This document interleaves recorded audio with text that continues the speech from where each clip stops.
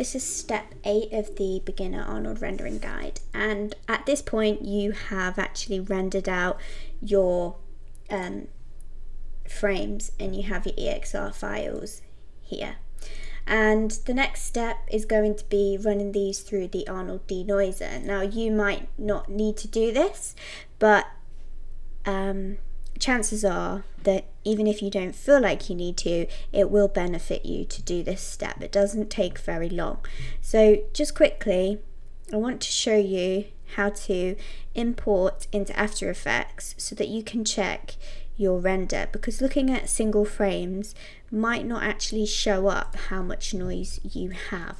So I've got After Effects here and I'm just going to right click in the project area and go to import file and then I'm going to choose the first frame and make sure that EXR sequence is checked and import that in and then I'm just going to right click interpret footage main and make sure that this is set to 25 frames per second because that's what my um, animation is at. And then I can grab this, drag it down to the new composition button and Maya's made me a new composition. And then because it's rendered with an alpha, I'm just to add layer, new solid and add a black solid underneath. And then if I hit this play button here in the preview window, it's to play and as it plays, it's going to load in the frames. So we're going to get um, quicker playback once it's played through the first time. Now I'm talking as if you've never used After Effects before, so if you have, I apologise. Okay, and then now it's playing back um, as I would expect it to.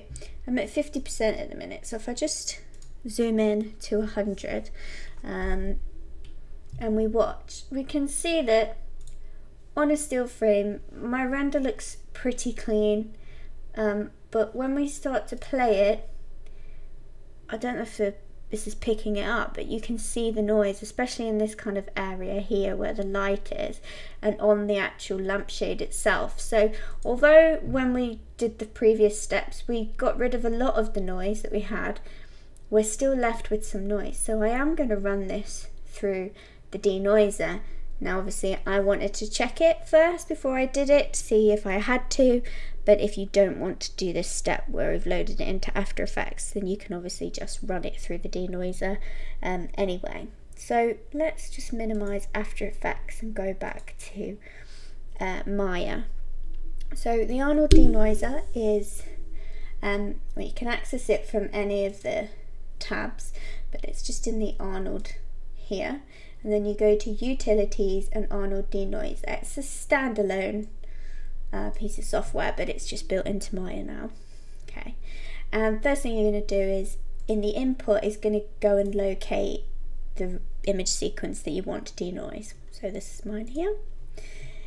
And then by default, what Maya is going to do is it's going to output that into the same folder the same file name, it's just going to add underscore denoise to it. So for every frame that you have, you're going to end up with a second version that's underscore denoised.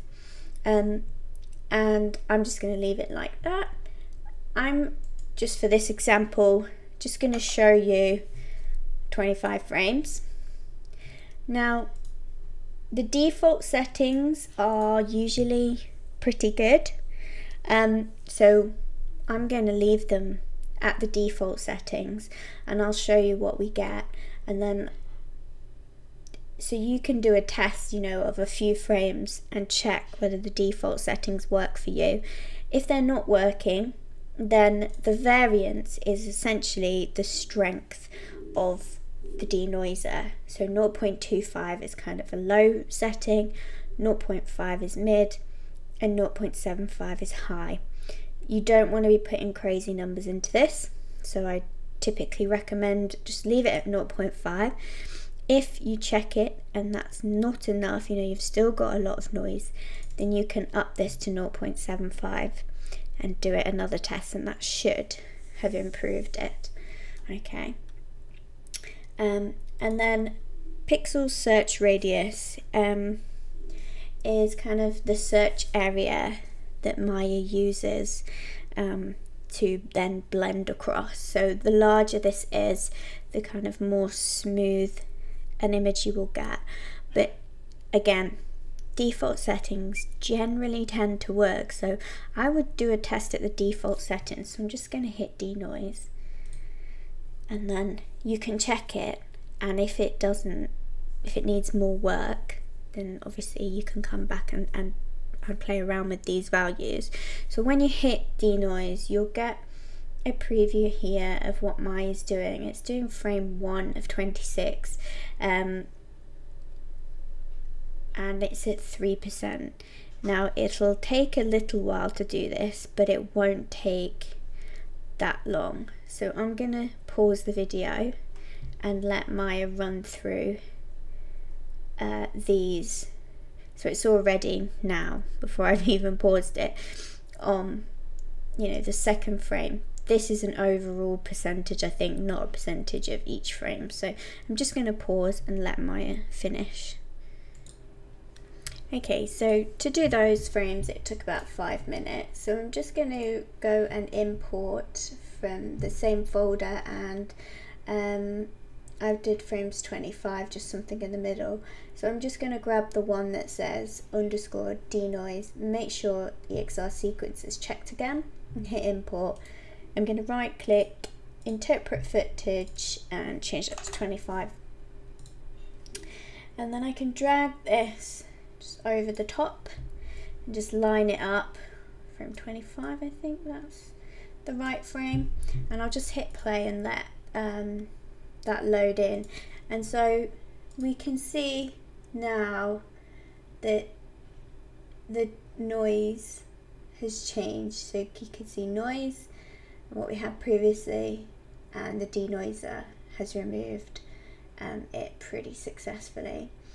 So if you find that you've still got noise in, you can go and um, run it again uh, through the denoiser and you can try um, increasing the variance first of all and then you can also try increasing the pixel search radius. You don't want to try and increase these by too much so variance I would go to 0.75 and pixel search radius you could try something like 12 15, 18, those kind of values. Um, and yeah, it's as simple as that.